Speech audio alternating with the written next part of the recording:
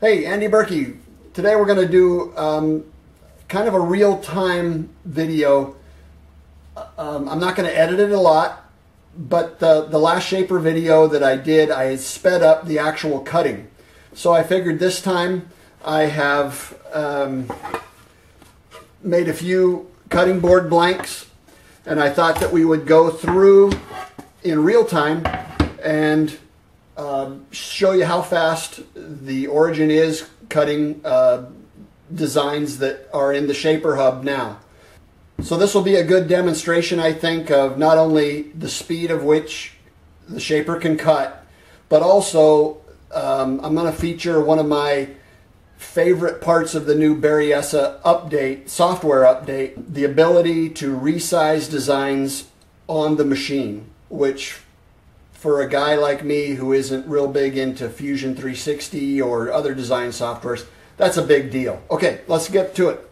So I've got my waste board now, and then what I've got is some half inch MDF board that I'm going to make three pieces of that will, I'll apply the shaper tape to all three of these, and then this can become sort of a semi-permanent workspace where after I get these guys squared up, I can put them in here and shove these guys close and then scan a new workspace into the shaper. Uh, I've milled all these to the same thickness as this so that they're, they're all in one plane.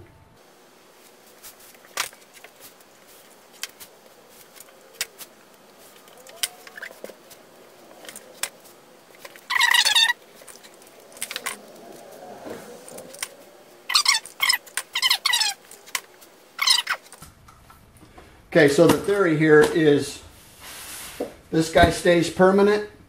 These guys are mobile. I will take a blank, shove it in here, shove those tight. I'm going to clamp this down.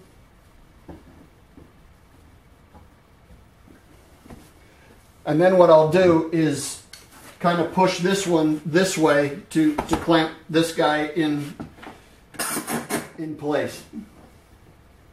So I'll just walk you through this as I go. The, the blank is the same height as the boards with the shaper tape on them. And um, I'm just going to give it a little bit of hot glue here. And then I'll go ahead and squeeze those boards together. So the purpose of this of having the shaper tape on these boards is that I will be able to use far less tape per cutting board blank because all I'll have to do is apply the tape on the board itself instead of all around it.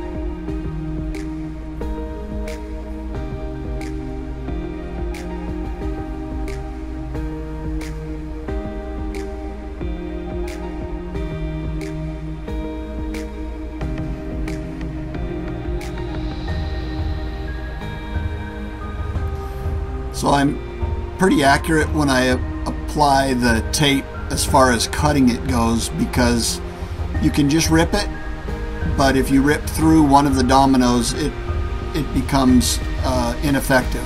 The, the shaper can't see it. So I just give it a real light going over with the utility knife and uh, that way I get the most mileage out of my uh, dominoes. I'm just going to add a few extra little ones here. I'm not sure that they're necessary or not, but um, I've found that if you try to be stingy with the shaper tape, it comes back to bite you. So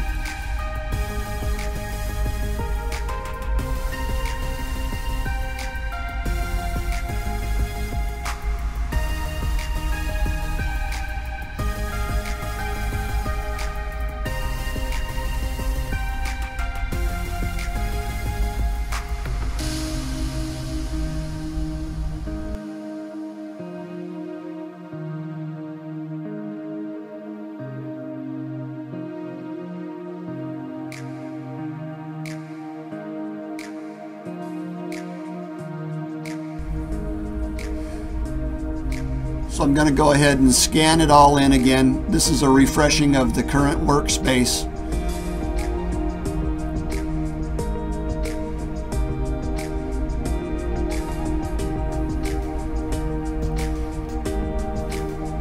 And now the shaper is stitching all of those images together so it knows where it is in the universe. I'm getting a rough idea of how big my blank is here. So then I can go right to the design in Shaper Hub.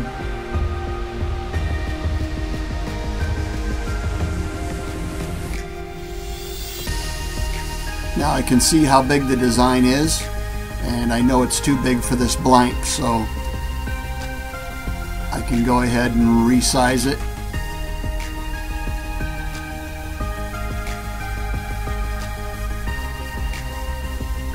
And then go ahead and place it wherever I want on the board.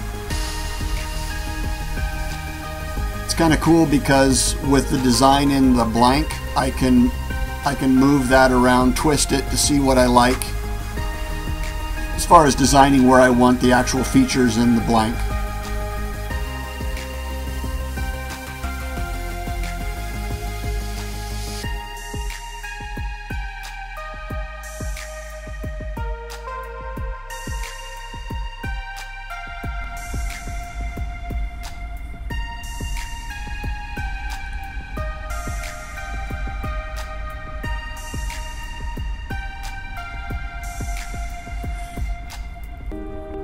I'm going to go ahead and knock out the thumb hole first. And I'm going to cut this at a quarter inch depth to begin with. And then I'll go ahead and make another pass that is uh, just a little deeper than the board itself.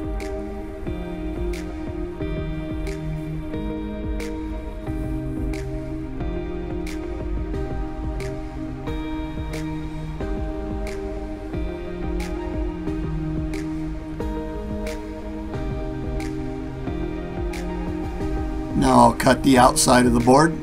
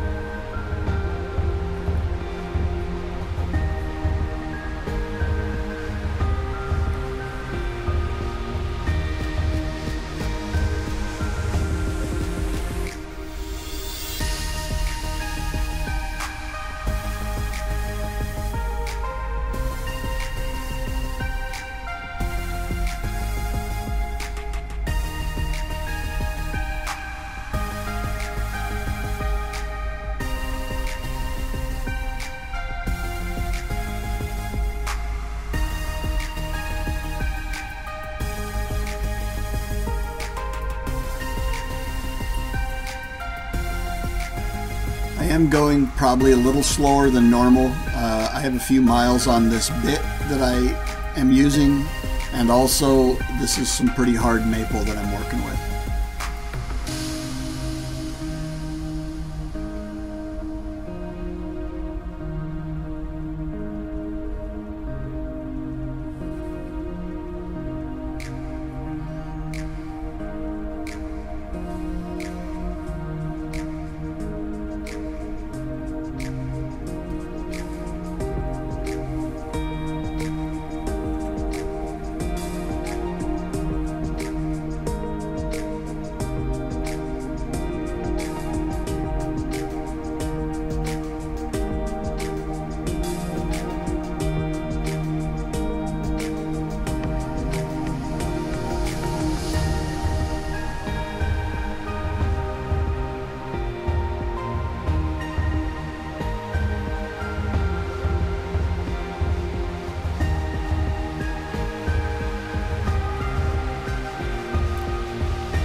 Okay, lap one is complete. And now I'll go back to the thumb hole and recut it. This is a mistake I made. Um, I went ahead and started re recutting this, but if you notice, I forgot to change my depth. So right now I'm wondering, wow, this is cutting really well. And then pretty quick, I'm gonna figure out what I did.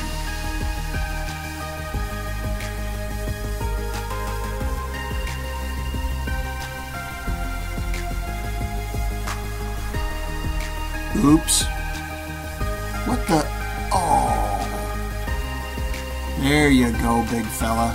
See, that's rocket scientist right there. So I am setting this just a few thousandths below what I know the depth of the board to be. I think I ran this pass at 0.54 inches.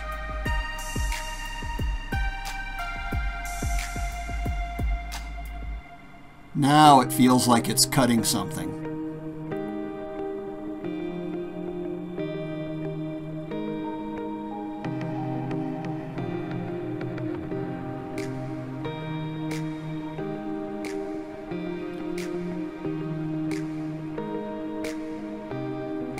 Oh, yes, success. You can teach an old dog new tricks.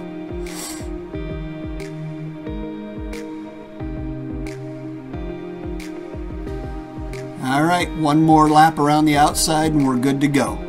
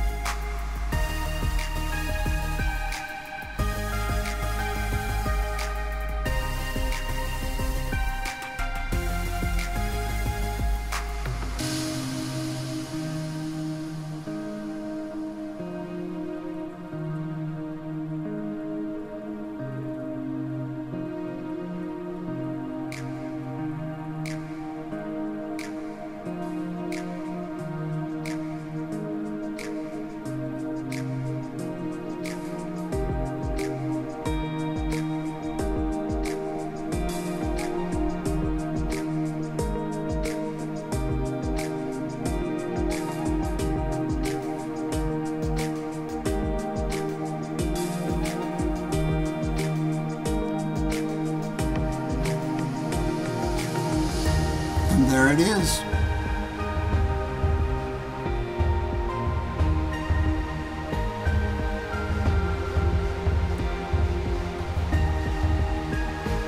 Get out the dull old putty knife. and Pop away some of that uh, hot glue. Ready to go. The shaper tape doesn't really leave any residual that I, I have ever found. It actually peels away very nicely.